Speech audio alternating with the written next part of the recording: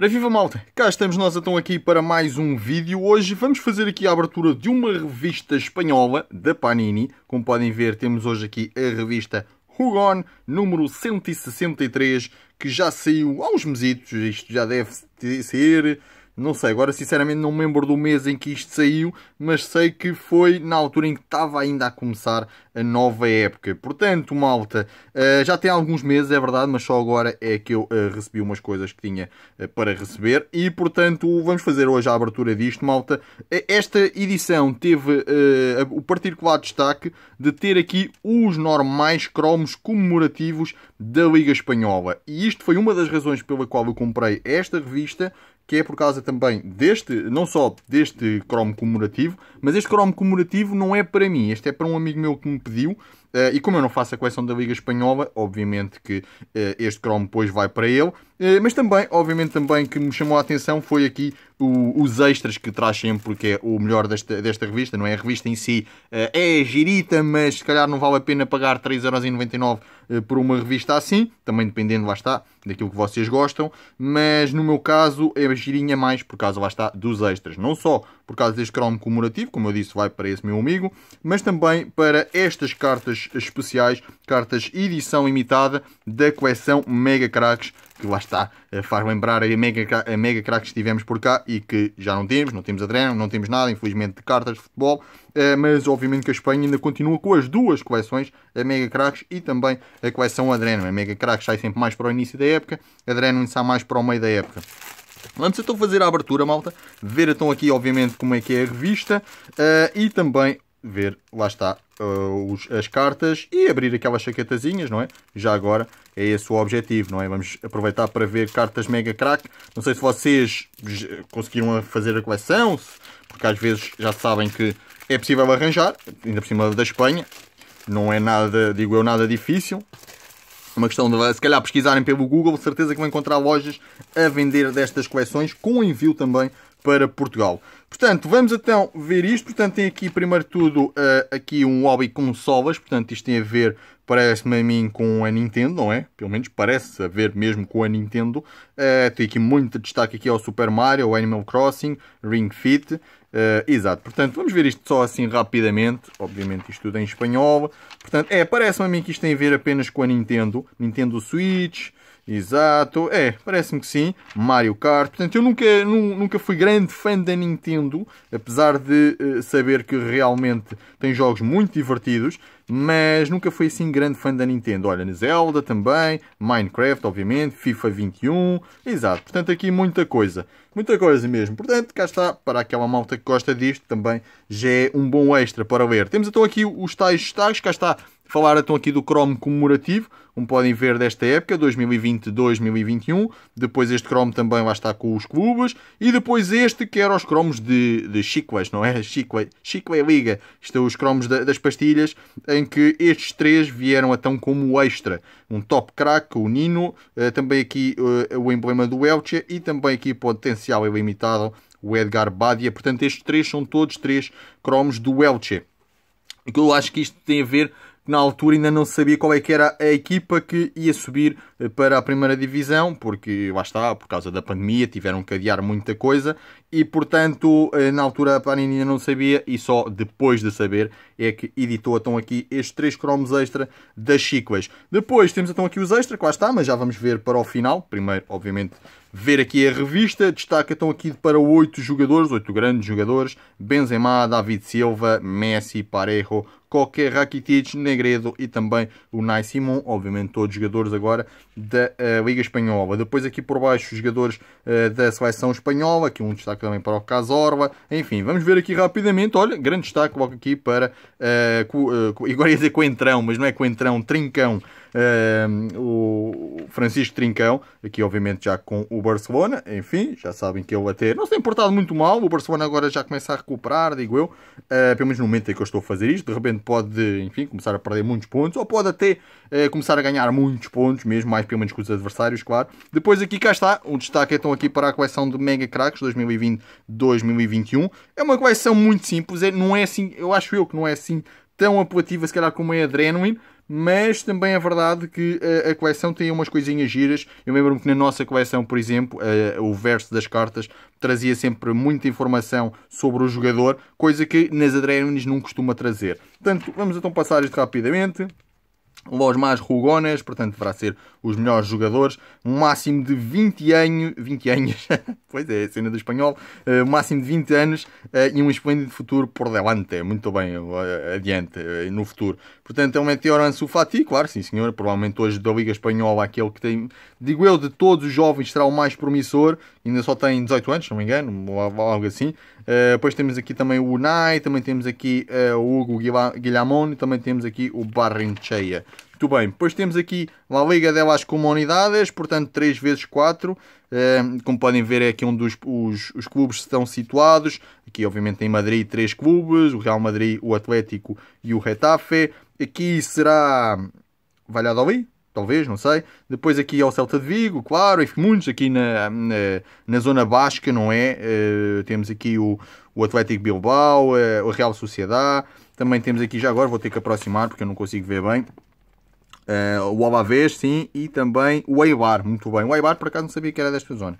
Depois aqui, obviamente, aqui mais para este lado, temos aqui os, os clubes, o Barcelona, claro, aqui na, na Catalunha, a comunidade valenciana tem bastantes ainda também, tem o, o Villarreal, tem o, o Valência, enfim, tem vários clubes, aqui a Andaluzia também tem bastantes. Vamos passar isto rapidamente, temos aqui o já agora ver aqui por baixo o que é que tem, idades, olha, cá está, Ansu Fati, 18 anos, uh, depois aqui outros jogadores, ok, ok, vamos passar isto rapidamente, temos então aqui o caso Orba, para ser sincero não me interessa muito falar do caso Orba, temos aqui um guia Liga 2020-2021, cá está, como eu disse há bocado, isto tinha a ver mais esta revista saiu mais no início da época e isto está aqui a prova, aqui uma espécie de guia para esta liga que já está a decorrer lá está, há alguns meses.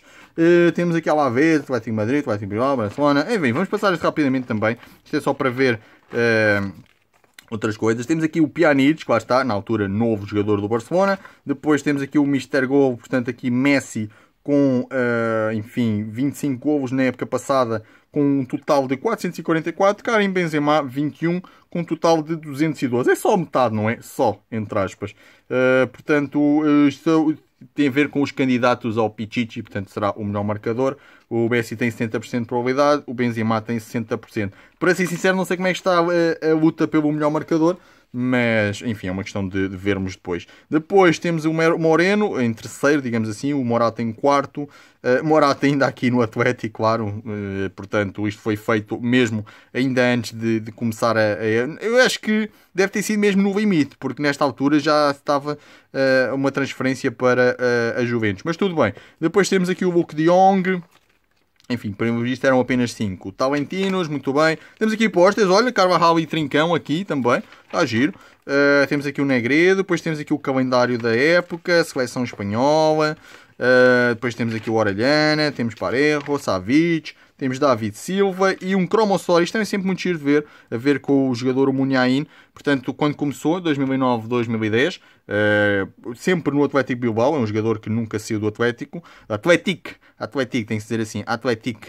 E depois temos aqui, exatamente, portanto, não falhou o único, é? Todas as épocas, cá está, um novo cromo do, do, do Munhain. Depois temos aqui Yastana aqui, portanto, serão o 11, os rookies, lá está, isto hoje em dia é inevitável falar sempre disto, não é? É aquilo que hoje em dia muita gente, eh, digamos, puxou muita gente para este mercado, é, é os rookies, enfim. É, eu, chamo, eu chamo-lhe investimento, mas para mim não é, nenhum, não é nenhum investimento, enfim, é só aproveitar algo, enfim, não é nenhum investimento, mas pronto, podem chamar investimento, tudo bem. Tem a ver, eu estou aqui com os rookies, temos aqui o Lunin, que será então aqui um guarda-redes pertence ao Real Madrid, pelo menos está aqui a dizer que pertence, sinceramente não sabia. Depois temos aqui outros vários jogadores, o Estupinhano, olha, tínhamos também para cá um Estupinhano, mas não era, não era este, certeza absoluta. Depois temos Sanset, temos o Pau Torres, o Manu Faberro, sim, claro, obviamente Ansu Fati não podia deixar de ser. Por acaso não colocaram aqui o... Uh, não colocaram aqui o, o... Como é que ele se chama? O o Trincão, não sei, portanto isto se calhar eu estou aqui a explicar, mas sinceramente agora não vou perder tempo a ler. Depois temos então aqui a seleção espanhola, vou passar também, não me interessa nada a seleção espanhola, para ser sincero. Interessa-me depois quando se algum dia tivermos jogar contra eles, mas neste momento agora não interessa. Temos aqui, olha, cá está Nelson Semedo ainda no Barcelona, aqui o, o Iñaki Williams no Atlético, depois temos aqui Villarreal, Real Madrid e também o uh, Alex Moreno aqui do Betis. Depois temos de volta à casa, portanto aqui regressos de jogadores que voltaram a casa ou às, às suas raízes. Uh, destaque, se calhar, aqui vai mesmo para o David Silva, que veio do City depois de passar lá muitos anos. Uh, voltou então à Real Sociedade. Depois temos aqui o Montoya que voltou ao Betis, o Negredo que voltou ao Cádiz. Uh, não sabia que ele tinha form sido formado no Cádiz, pelos vistos. Depois temos ele o Pródigo, portanto cá está. Rakitic também regressou ao Sevilha. Enfim, está giro. Odriozola aqui o Real Madrid. Depois temos então aqui qual será o melhor pivô acima de 30 anos. Pivô supostamente será o médio defensivo, o que nós chamamos o trinco. Uh, depois temos aqui Busquets, Iborra, Fernando, Dani Garcia e também, pelos vistos, depois de tudo analisado, para a Rugon, para a revista, o melhor será então o Fernando, que uh, com Eva estão 26 estrelas no total. Isto deve ser o total de tudo, não é? Portanto, 5, 5, aqui só leva 3, 3, depois 5. O Busquets, por exemplo, 5, 5, 5, 3, 4. Portanto, não foi assim tão longe deste do Fernando, não é? Aliás, tem um bocadinho melhor que o Fernando no total. Mas pronto, há uma razão, eles devem ter dado aqui para o Fernando ser o melhor para eles, nos quatro. Depois temos o Awar, aqui o jogador do Lyon, Monster Glamour, ok? Monsieur Glamour, estava a ver, Monster. Depois temos que quem poderá com o Liverpool, portanto, isto na altura, lá está, quem é que pode com o Liverpool, não é? Que na altura o Liverpool estava, ganhou a Liga sem qualquer dúvida, com muitos pontos de avanço. Até podiam ter sido mais, mas eles no final da época já estavam ali a uh, a lixar-se para, para o campeonato e foi mesmo, epá, já ganhámos, portanto não vale a pena estarmos aqui a jogar com a equipa principal. Enfim, uh, portanto cá está City, uh, Chelsea, Liverpool, claro. Uh, portanto, naturalmente ninguém esperava que o Liverpool tivesse a fazer uma época tão má assim, não é? Tão má. Depois a lesão de Van Dijk, isso tudo também não ajudou. O próprio Diogo Jota, que acho que contribuiu bastante logo que veio, mas depois lesionou-se. E acho eu que foi mais ou menos aí que eles começaram também a perder ainda mais pontos. Mas lá está, City agora por agora a dominar, Chelsea, que também agora com o novo treinador, novo entre aspas, já está há algum tempo, mas desde que ele lá está, uh, tem feito grandes resultados. E no momento que eu estou a fazer isto, acho que eles ainda não perderam uma única vez. Depois de United, enfim, podemos pedir fazer uma melhor épocazinha, mas não está mal, não é? Está a continuar no top 3. Depois Tottenham, Arsenal, Uh, Arsenal, lá está, isto está sempre a desiludir o Arsenal, mas pronto. Passamos agora aqui para passatempos, também vamos passar isto rapidamente. Depois Barcelona, Ronaldinho, cá está, heróis do século XXI do Barcelona. Isto também é outra coisa, deve ser muito gira de ver. Por exemplo, começamos aqui com o guarda-redes Vitor Valdez, 2002 a 2014. Aqui o, o, o, grande capitão Carlos Puyol, de 99 a 2014. Xavi, 98 a 2015. Vejam bem a geração que o Barcelona teve e, curiosamente, muitos terminaram mais ou menos ali naquela altura de 2014, 2015, que foi, lá está, a última, eh, a última época que o Barcelona ganhou uma Champions. Temos também aqui o Rafa Marques, jogador mexicano, 2003-2010. Olha o Deck, cá está também, 2004-2008. Depois aqui o Eto'o, 2004-2009. Aqui o Ronaldinho não podia deixar de ser, claro, entre 2003-2008. 2007-2013 aqui o Abidal. Quer dizer, o Abidal, não sei, ficou se calhar mais conhecido pela, eh, pela doença que teve, enfim. Depois temos aqui 2007-2010 o Henri, é, também mais ou menos. O Pedro, 2008-2015. E por fim o David Villa, entre 2010 e 2013. Como podem ver, muito ali naquela zona, uh, isto tem a ver obviamente com o século XXI, mas muito ali, digo eu, os jogadores entre final de, da década, da primeira década e o início da segunda década. Aí sim é que eu acho que realmente o Barcelona tinha um plantel do caraças mesmo. Também treinados, lá está, na altura, por Guardiola e afins. Enfim, realmente, uh, grande altura. Olha, falar em Guardiola, cá está. Temos aqui o Guardiola, uh, que será quem tem o recorde das jornadas seguidas sem ceder mais de um gol, o Guardiola, pelos vistos, é o que tem mais, digo eu. Depois Simeone e depois Zinedine Zidane. Enfim, vamos passar isto rapidamente. Já estamos, se calhar, sim, o vídeo já não vai assim tão curto, mas pronto, é sempre giro também de ver estas, estas cartas. Depois, como podem ver, olha, cá está a publicidade às chiclas. Isto tem a ver com a coleção uh, Mega Cracks, não é? Portanto, uh, as outras chiclas e lá está aquelas três que é para juntar. Não dá para acabar a coleção sem terem estas três, porque estas três não saíam nas chiclas. Uh, depois, eles dizem que a próxima edição, seria a edição 164, era as últimas três cartas de edição limitada e ainda mais, mais duas saquetas de Mega Cracks. E é isso mesmo que vamos ver agora, malta. Saquetas, portanto, primeiro tudo vamos ver aqui as edições limitadas que vêm aqui. São três edições limitadas. Portanto, uma do Real Madrid, aqui com o Tony Kroos. São limitadas muito simples, não, não, não direi que são assim, uau, espetaculares, nada disso. Mas também, enfim, safo. Temos aqui um Passador, temos aqui um Revolution, o Isaac. E também temos aqui, cá está, o, o, o rookie, um dos rookies do momento, não é? Ansu Fati como Teenager, top mega. Um, depois, vamos então aqui ver estas duas chaquetazinhas, não é? Eu geralmente gosto de guardar as chaquetas. Curiosamente, agora que eu estou a ver, são chaquetas diferentes. Pelo menos a forma como foram fechadas, estão a ver? Esta é fechada na vertical e esta é fechada na horizontal. Está giro, está giro. Se é o que eu digo, seria giro guardar, mas não há problema também que é, não sei o que é que, que é que depois daria assim grande dinheiro por isto. Não, não, não é nada a ver. Mas vamos lá ver, malta. Portanto, serão 6 cartas, não é? 1 um euro, cá está. Cá está, 1 um euro por saquete, é o costume. Portanto, começamos aqui com uma carta especial do jogador do Sevilha, Canoté, muito bem. E o resto, penso eu, que deverão ser base. Já agora, por trás, cá está, aquilo que eu tinha falado das Mega Cracks, tem sempre uma cena gira que é colocarem aqui detalhes no verso. Fica sempre muito giro. Número 401, Está fixe, está fixe. Muito bem. Equipas, títulos. Muito bem. Vamos colocar aqui. E agora colocar aqui as limitadas. Aqui à mostra. Uh, depois em cartas base. Olha, temos emblemas também. Muito giro também. Emblema do Levante. Depois temos o Funes Mori. Olha, Funes Mori. Vila Real. Olha, Inaki Williams. O Griezmann. É lá. E Courtois. Grande saqueta. Bem, grandes jogadores mesmo. Funes Mori, Williams, o Griezmann, o Courtois. Muito, muito boa saqueta mesmo. Em termos de jogadores, claro. Vamos então agora à segunda. Ora, esta não tem nenhum especial, portanto, pelos vistos, nestas chaquetas, eu não sei se eles dão aqui rácios.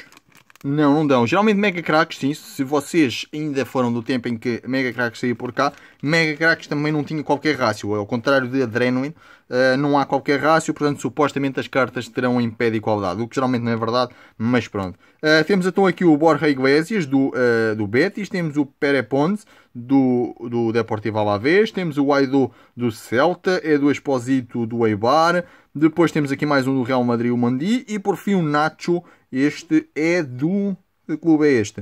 Uh, Valladolid? Será? Vallecano, Vallecano, deve ser o Vallecano. Não, Valladolid, sim, cá está, Valladolid. Portanto, sim, deve ser o Valladolid, não diz aqui, mas presumo que seja Valladolid. Mas pronto, malta, cá está uma aberturazinha para ver esta revista. Espero então que tenham gostado. Sim, já sabem, o vosso gosto muito importante como sempre. Os vossos comentários também serão sempre bem-vindos, claro. Subscreva o canal se ainda não tiverem subscrito. Encontramos então em mais vídeos, ok, malta? Fiquem bem e até à próxima. Tchau!